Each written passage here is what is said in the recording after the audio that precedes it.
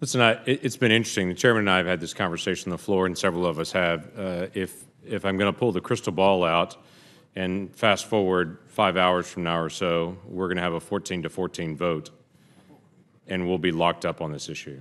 I think it's good that we can talk about it.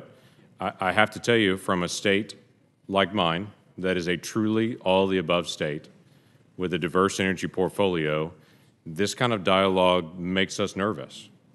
Not because we're an oil and gas state and we're enslaved to oil and gas folks and the dark money is rushing at us and we're unrestrained.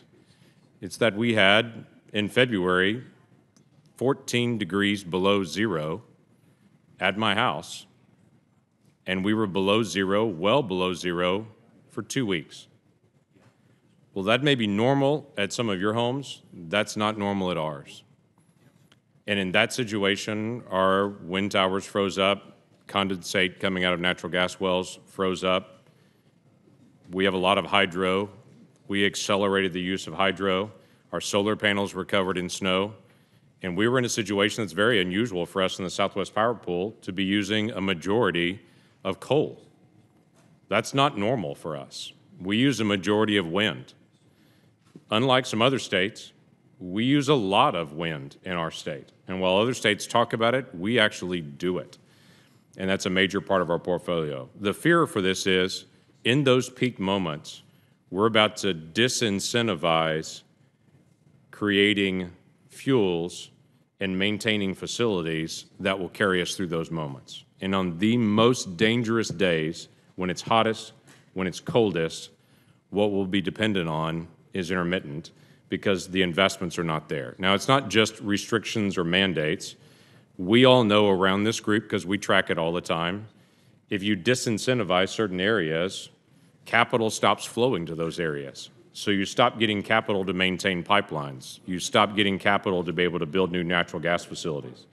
And in this dialogue for a while, we've talked about natural gas as a bridge fuel, and now suddenly natural gas is evil.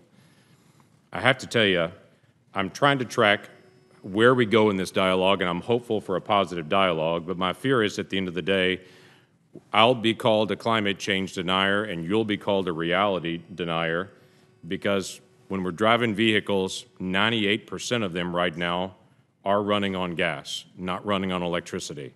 And if we shut off all that flow towards that, that's going to continue to raise prices on those that can't afford it the most. And if the push is going to be towards electric vehicles to say everybody just needs to shift to electric, I'd love for you to tell the folks that are working every day because the electric vehicles in the manufacturing location are not being driven by the folks working on the line. They're being driven by the folks in the office at the corner. And so they're not available to everyone. So I hope we can have a realistic conversation about what's really happening and about how we can deal with fuel options and keep diverse fuel options and not try to disincentivize us from actually maintaining what we're going to need as a country.